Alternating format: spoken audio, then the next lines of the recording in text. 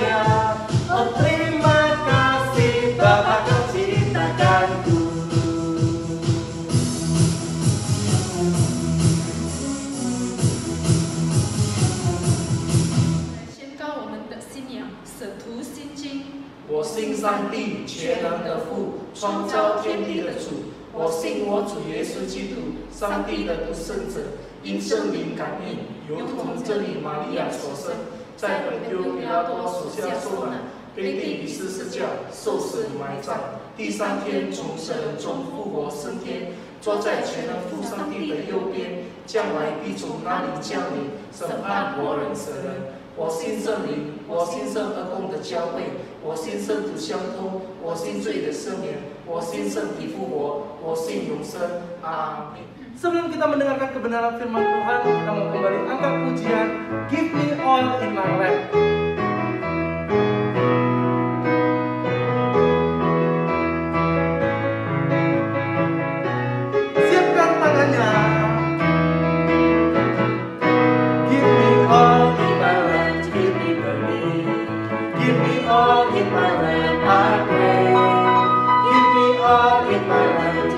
Burning worthy, worthy.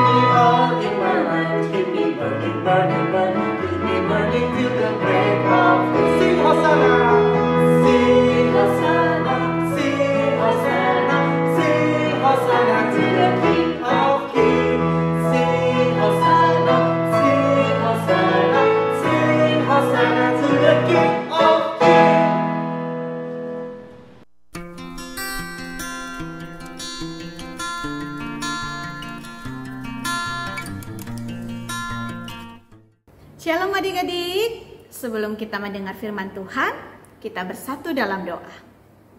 Tuhan Yesus terima kasih kami bersyukur hari ini Tuhan kami boleh berkumpul bersama-sama. Tuhan kami akan mendengar firman Tuhan. Tuhan tolong kami Bapak supaya kami boleh mengerti dan kami juga boleh melakukan dalam kehidupan kami sehari-hari. Tuhan tolong kami Bapak. Dalam nama Yesus kami berdoa dan mengucap syukur. Amin. Nah, adik-adik yang terkasih, hari ini kita akan mendengarkan satu cerita bagaimana perjalanan pengintai. Nah, minggu lalu kita sudah belajar tentang pengintai kan? Ada 12 orang pengintai. Hari ini bukan 12, tapi mereka dua orang. Nah, mari kita dengarkan ya. Nah, adik-adik, hari ini yang menjadi pemimpin bangsa Israel adalah Yosua. Nah, Tuhan memilih dia untuk melanjutkan apa yang akan dikerjakan oleh Tuhan bagi bangsa Israel. Dia memberikan perintah kepada dua orang pengintai. Ke mana kali ini? Kali ini mereka akan diperintahkan ke kota Yeriko. Kalau pada minggu yang lalu bangsa Israel dipilih 12 orang untuk mengintai tanah apa? Tanah Kanaan. Kalau dua orang ini disuruh untuk mengintai kota Yeriko. Nah, mereka dipilihlah dua orang. Pekerjaan pengintai itu apa? Mereka harus melihat kota Yeriko bagaimana, penduduknya seperti apa, tentaranya bagaimana, dan mereka berdua ini pergilah untuk melaksanakan tugas yang diberikan oleh Yosua. Nah, ketika mereka sampai di satu kota, mereka bertemu dengan tentara-tentara. Ya, mereka hampir saja ketahuan. Tetapi waktu itu mereka tibalah di sebuah rumah. Rumah satu orang perempuan namanya Rahab. Mereka bercerita kepada Rahab kalau mereka sedang dikejar-kejar oleh tentara. Dan Rahab mengenal mereka. Dia bilang, "Kalian ini pasti orang Israel. Saya pernah mendengar tentang Tuhan kalian. Saya pernah mendengar tentang Allah kalian yang hebat." Dan aku percaya bahwa kota ini telah diserahkan kepada kalian. Nah, Rahab berkata kepada mereka bahwa dia bersedia untuk menyembunyikan mereka karena dia percaya bahwa Tuhan Allah itu adalah Allah yang hebat yang akan menyerahkan kota itu kepada orang Israel. Lalu dia bilang, "Kalau kalian akan memasuki kota ini, Aku meminta supaya kalian menyelamatkan kami sekeluarga. Apakah kalian bersedia? Lalu kedua pengintai ini berkata, kami akan melindungi kalian. Karena kamu percaya kepada Allah kami dan kamu juga mau menolong kami dan menyembunyikan kami di sini. Tolong kamu jangan memberitahukan kepada tentara Yeriko.